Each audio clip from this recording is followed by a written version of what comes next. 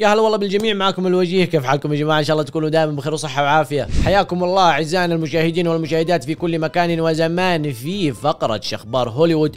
الأسبوعية واللي نتكلم فيها عن أهم أخبار هوليوود والسينما والتلفزيون وأحيانا برضو أخبار من خارج هوليوود. علشان لا يكثر الكلام وتطول المقدمة يا جماعة لايك للفيديو لو أعجبكم واشتركوا في القناة لو ما كنتم مشتركين وفعلوا الجرس على طريقكم وتعالوا تابعونا على مواقع التواصل الاجتماعي كلها موجودة في صندوق الوصف. غير كذا يلا بينا نشوف شو أخبار هوليوود لهذا الأسبوع ولعلنا نبدأ بأهم خبر لهذا الأسبوع اللي لو طلع صحيح فنتفليكس راح تدخل في مشاكل كثيرة. واللي لو طلع صحيح يا جماعة كتاب مسلسل 1899 راح يتورطون في مشاكل كبيرة. I mean damn إذا فكرة مسلسل 1899 في بعض المصادر وفي بعض الأخبار اللي بنناقشها بعد شوية تقول إنها مسروقة. هل معناته إنه ممكن تكون فكرة دارك كمان مسروقة؟ هم أتساءل. يمكن جزء كبير منكم يا جماعة تابع مسلسل 1899 وأنا واحد من هذول الناس اللي تابعوا. اللي صدر قبل كم يوم على منصة نتفليكس. المسلسل جميل وغامض وممتع وأفتكر أني تابعته دعسة واحدة وخلال يوم واحد من كثر ماني متحمس. المسلسل رجعنا لأجواء مسلسل دارك وأكيد راح يرجعنا لأجواء مسلسل دارك لأنه اللي كتبوه هم نفس اللي كتبوا مسلسل دارك. وشركة الإنتاج اللي أنتجته هي نفس الشركة اللي أنتجت مسلسل دارك نتفليكس. ولكن ماذا لو قلت قلت لك عزيزي الوجيه إنه في احتمالية كبيرة إنه مسلسل 1899 يطلع مسروق. يب فكرته مسروقة. ويقال إنه تم التلاعب فيها في بعض أجزائها بحيث تكون أصلية قدر الإمكان. لاحظوا أني قلت احتمالية أنه فكرة 1899 تكون مسروقة لأنه للآن ما زال الموضوع قيد التصعيد. ركز معي عزيزي الوجيه علشان نفهم إيش اللي صاير مع مسلسل 1899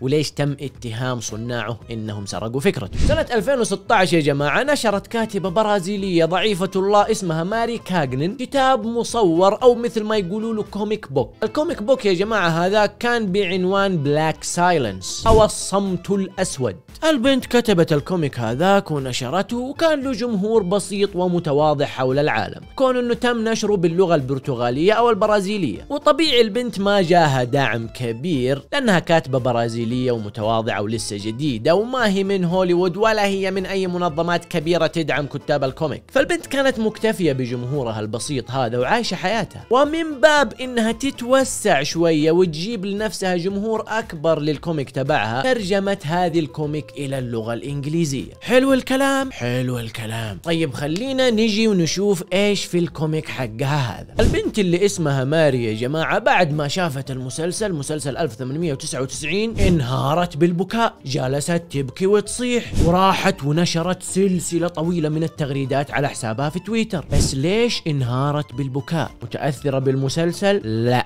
متأثرة بالكتابة الجميلة للمسلسل؟ طبعا لا. متأثرة برحلة الشخصيات في هذاك البحر العتيق وما عارف إيش؟ برضو لا. البنت يا جماعة ماري ضعيفة الله تقول إنه مسلسل 1899 سرق فكرتها بشكل واضح وصريح وذكرت إنه فكرة الهرم الأسود اللي ظهر في المسلسل موجود في ال comic تبعها وذكرت إنه فكرة ظهور المثلث في عيون الشخصيات وأماكن متفرقة من السفينة برضو ظهرت في ال comic تبعها وكمان ذكرت إنه فكرة السفينة والموت الغامض للشخصيات. برضو موجود في ال comic تبعها. وذكرت كمان وزادت وأكملت على كلامها إنه فكرة تعدد الجنسيات على هذيك السفينة والأصوات المجهولة اللي تناديهم وماضي الشخصيات برضو موجود في ال comic تبعها. What إيش قاعدين تسوي نتفليكس إيش قاعدين تسوي يا كتاب المسلسل؟ حرفيا البنت تقول وتتهم نتفليكس وكتاب مسلسل دارك و1899 إنهم سرقوا ال comic تبعها عيني عينه. ووضحت إنهم غيروا بعض الأجزاء علشان يخفون مصيبتهم. أو حرفيا قالت إنهم خففوا قدر الإمكان من الاقتباسات من ال comic تبعها بحيث يخففون كمية التشابه بين المسلسل وال comic. يعني كأنهم يقولوا أوه في تشابه بس مو نفسه. وقالت إنه جوهر ال comic والفكرة الأساسية لل comic تبعها مسروقة عيني عينك. هذا كلامها اللي أنا قاعد أقوله وهذه تغريداتها أنا اقتبستها وترجمتها. وأعدت صياغتها بحيث نأخذها بلغة نتفاهم فيها أنا وأنت عزيزي الوجيه. المهم يا جماعة أنه البنت نشرت تغريدة فيها رابط. ال comic البنت ما عاد تبغى تبيع ال comic نشرت رابط فيها ال comic. خذوا يا متابعين اتفرجوا واقرأوا ال comic براحتكم. طلبت من الجمهور إنهم يقرأوا ال comic ويراجعوه معاها بحيث يساعدوها في إيجاد أوجه التشابه بين ال comic ومسلسل 1899 وأنهت كلامها وقالت وهي حزينة جدا. البنت تقول أنا قاعدة أكتب التغريدات دي وأنا أنهار بكاء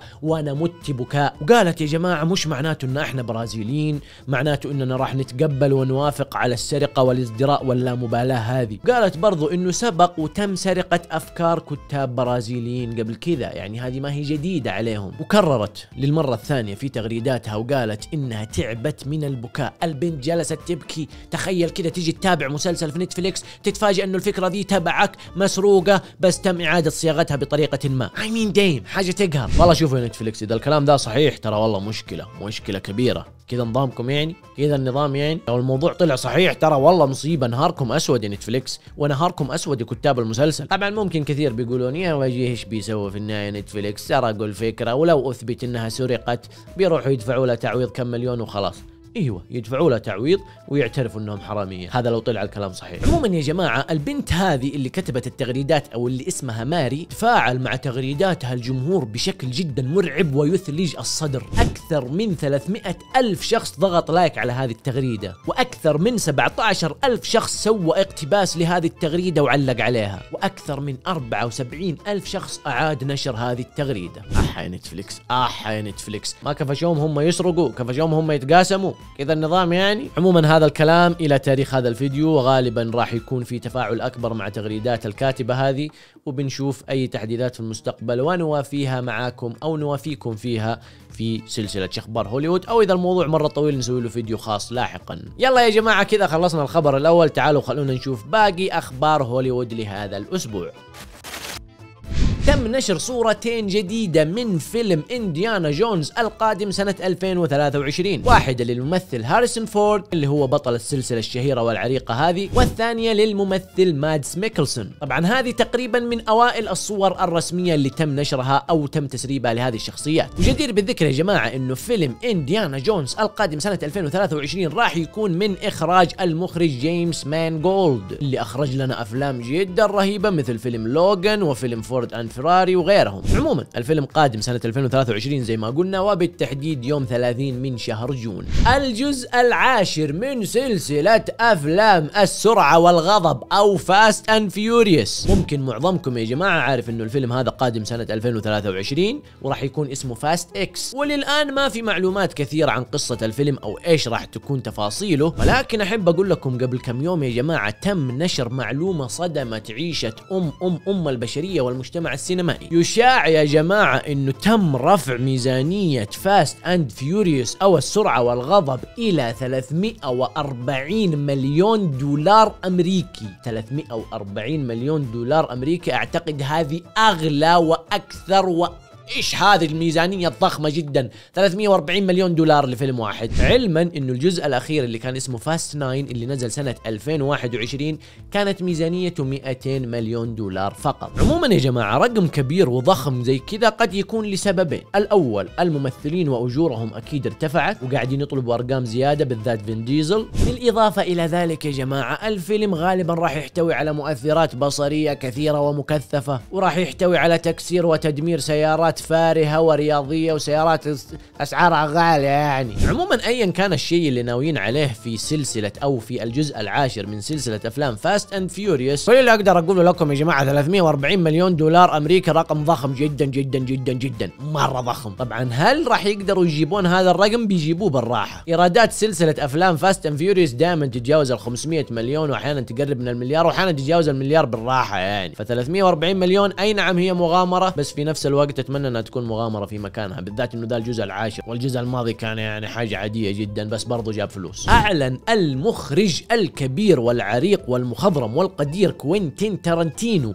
إعلان جدا جدا جدا مهم في مسيرته ومهم جدا لكل شخص مهتم في عالم صناعة السينما والتلفزيون. يقول كوينتين تارانتينو يا جماعة إنه عمله الأخير واللي بعده راح يعتزل ويترك الإخراج تماما ما راح يكون فيلم. yep راح يكون مسلسل مكون من ثمان حلقات فقط وبعدها كوينتين تارانتينو راح يعلن اعتزاله بشكل رسمي ونهائي. إن شاء الله يغير رأيه. جدير بالذكر يا جماعة إنه كوينتين تارانتينو كان ناوي يخرج فيلمه الأخير قبل فترة بسيطة ولكن حصلت له مشكلة مع الممولين ما قدر يجيب المبلغ الكويس اللي يقدر يمول فيها الفيلم وتكنسلت الفكرة. والآن تغير الموضوع تماما وصار تارانتينو يبغى يسوي عمله الأخير واللي بعده راح يعتزل بيكون مسلسل أو بيخليه مسلسل. وإذا كان راح نفهم حاجة مهمة من هذا الشيء أو من هذا الخبر أو في عدة حاجات ممكن نفهمها فهو إنه عمل تارانتينو الأخير راح يكون طويل جدا. yep طويل جدا لأنه ثمان حلقات. وغالبا كوينتين تارانتينو راح يتفنن فيه براحته ويطلق العنان فيه لكل مشاعره وحواسه الكتابية والإخراجية. عاد إيش المسلسل؟ إيش شركة الإنتاج؟ إيش المنصة اللي بتعرضه؟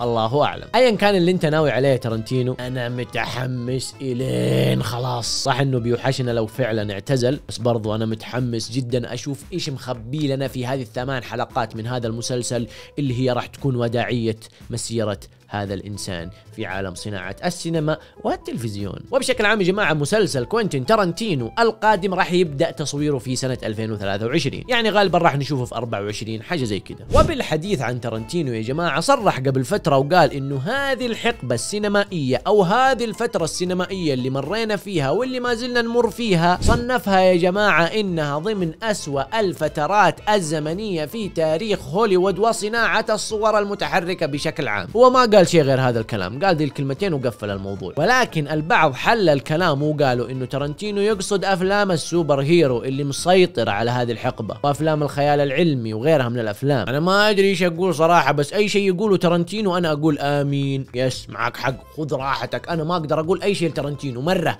ولا أقدر أعارضه في كلمة. أنت إيش رأيك عزيزي الوجيه؟ هل تتفق مع ترنتينو؟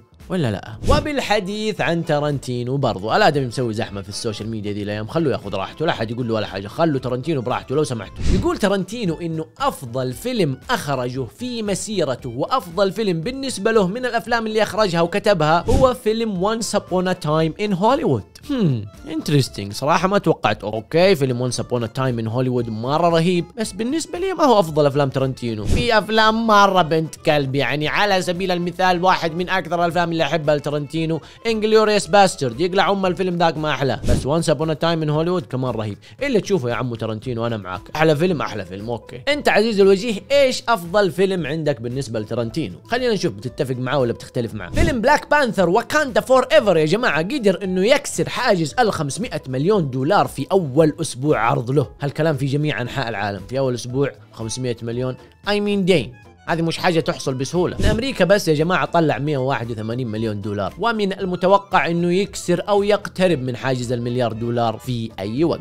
الممثل جوزيف كوين. بالإضافة للممثلة لوبيتا نيونغ رسميا يا جماعة تم انضمامهم إلى الجزء الثالث من سلسلة أفلام A Quiet Place لوبيتا تكلمنا عنها في الفيديو الماضي إنها انضمت إلى هذا السلسلة. واليوم الممثل جوزيف كوين اللي البعض عرفوا أو الأكثر عرفوه عن طريق مسلسل Stranger Things وكرر عزيزي الوجيه إذا ما تابعت الجزء الأول والجزء الثاني من سلسلة Quiet Place أحب أقول لك لا تفوتك. مرة لا تفوتك. فاكرين يا جماعة مرة زمان زمان مرة زمان تكلمنا إنه في نسخة نسائية من قراصنة الكاريبي أو نسخة نسائية من كابتن جاك سبارو أيوة أيوة وبطلتها راح تكون مارجو روبي. يا سلام عليك أنت فاكر الأخبار أول بأول؟ تعجبني. حط لايك. الجمهور طبعا انقسموا إلى نصفين. جمهور جلس يطبل وجمهور جلس يلطم. كيف يتم استبدال جوني ديب؟ وما عارف إيش مع إنه مش استبدال إنما نسخة نسائية منفردة ب... بقصتها واحداثها وايا كان. المهم يا جماعة أحب أقول لكم إنه ديزني فجأة قالت cancel الفكرة. لا خلاص جاك سبارو نسخة نسائية بلاش منها. ليش؟ ما لكم شغل خلاص انتهى. أخ حرام يا أخي. كانوا يلا عوافي سيلفستر ستالوني يا جماعة يقول إنه راح يرجع للأداء الصوتي لشخصية King Shark. what what أما سيلفستر ستالون هو مؤدي الصوت. أقسم بالله ما دريت إلا وأنا أقرأ الخبر هذا يا جماعة. والجمهور يا جماعة أو جمهور مسلسل The Witcher قدروا إنهم يجمعون أكثر من 200 ألف توقيع في محاولة بائسة للضغط على نتفليكس إنهم يرجعون الممثل هنري كافل لأداء شخصية The Witcher في الموسم الرابع. لأنه مثل ما أنتم عارفين هنري انسحب من الدور والدور راح للممثل ليام هيمسورث. طبعا التوقيع والحركات هذه عادة ما تجيب أي نتائج يعني. okay أحيانا تجيب نتائج بس في معظم الأوقات ما تجيب نتائج. بس still وفي نفس الوقت في عدد كبير من الجمهور قالوا ما عندنا مشكلة إننا نشوف The Witcher من بطولة ليام هيمسورث alright alright لما نشوف إيش يقرروا في النهاية يعني. وبالحديث عن عائلة هيمسورث يا جماعة كريس هيمسورث قرر إنه ياخذ استراحة من عالم التمثيل لفترة معينة. كريس هيمسورث اللي قدم لنا شخصية ثور في عالم مارفل الآدمي يا جماعة قرر فجأة كذا إنه ياخذ استراحة ويجلس في البيت. مش لأنه طفش ولا لأنه شبع فلوس ولكن لأنه في احتمالية إنه يصاب بمرض الزهايمر للأسف. طبعا هو حاليا ما عنده أي أعراض الآدمي بخير وصحته عشرة على عشرة. ولكن في سجله الأسري والوراثي وبناء على جيناته فيه احتمالية كبيرة جدا إنه يصاب بمرض الزهايمر لا سمح الله. أنا مش عارف صراحة وش العلاقة بين التمثيل والزهايمر يعني ليش أخذ استراحة من التمثيل؟ بس أعتقد إنه طبيا في علاقة لأنه ما راح يأخذ استراحة من التمثيل خوفا من الزهايمر إلا إنه في سبب. وايا كان يا جماعة كل اللي نقدر نقوله قدامك العافية كريس هيمسورث وترجع لنا بالسلامة إن شاء الله. يعطيكم العافية يا جماعة لهنا نكون وصلنا لنهاية الفيديو. لا تنسوا الضغط على زر ال like لو عجبكم الفيديو والاشتراك في القناة وتفعيل جرس التنبيهات عشان توصلكم فيديوهاتي أول بأول. وقناة الألعاب موجودة برضو في صندوق الوصف وقناة التويتش والديسكورد وحساباتي في مواقع التواصل الاجتماعي. تعالوا تابعوني هناك تنورونا وتشرفونا. كان معكم الوجيه أشوفكم في الفيديو القادم.